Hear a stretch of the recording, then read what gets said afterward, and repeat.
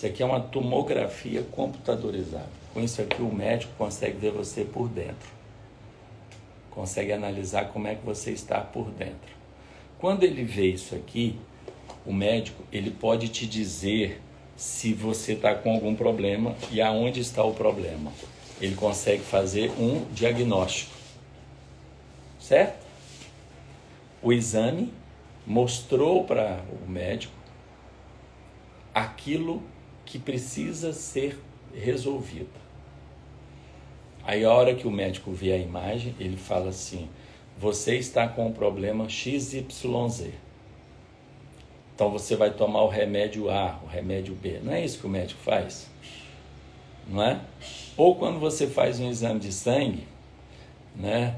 É, você consegue verificar essa energia. Você consegue ver esse trabalho. Não é verdade? Agora, como é que você faz isso do ponto de vista energético? Como é que você, no atendimento terapêutico de uma terapia natural, você consegue ter a mesma precisão que esse médico teve ao fazer um diagnóstico. No caso do método sete sentidos, é usando as mandalas. Porque, por exemplo, no uso das mandalas, você consegue, por exemplo, usando essa mandala maia aqui, identificar que um conflito, uma dor, um problema emocional, energético que a pessoa tem hoje, nasceu na sua infância. É igual o exame médico só que do ponto de vista energético. E ainda mais, usando a mandala vital, você consegue datar o acontecimento traumático,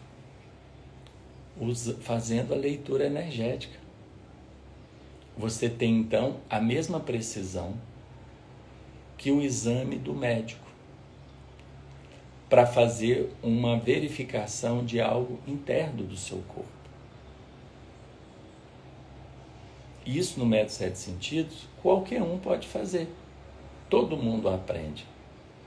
Olha só, ontem eu recebi um, um telefonema de uma aluna minha, a Edileuza. Ela me ligou. Edileuza me ligou e falou assim: Estevão, nossa, eu fiz um atendimento de um senhor que deu errado.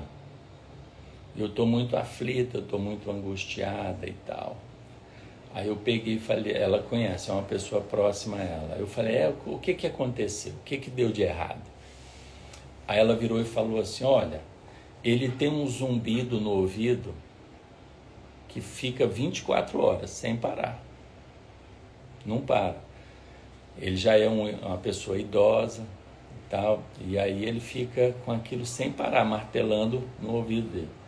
Eu fui fazer a, a datar o acontecimento, fui, fui, fui identificar a área da vida e deu família, fundação, passado. Olha só. E quando eu fui datar o acontecimento usando a mandala vital, deu quando ele tinha, olha só, 68 anos de idade. Tá?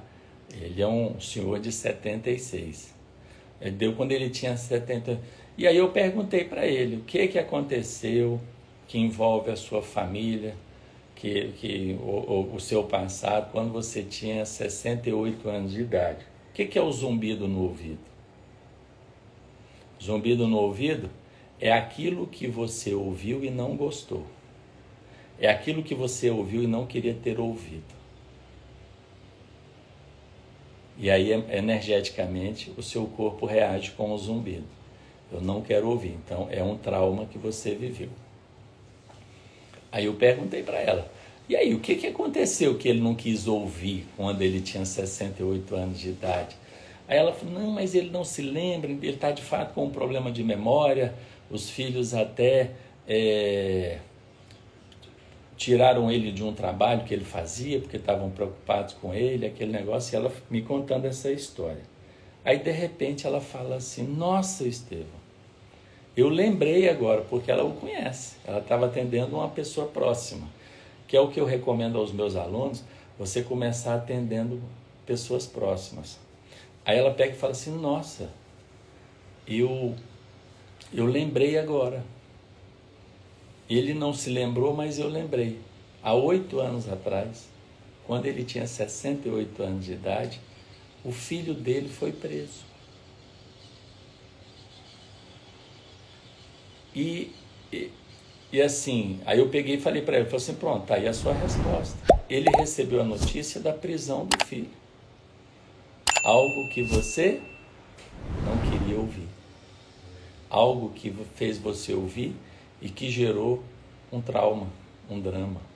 Detalhe, essa prisão desestruturou toda a família até os dias de hoje.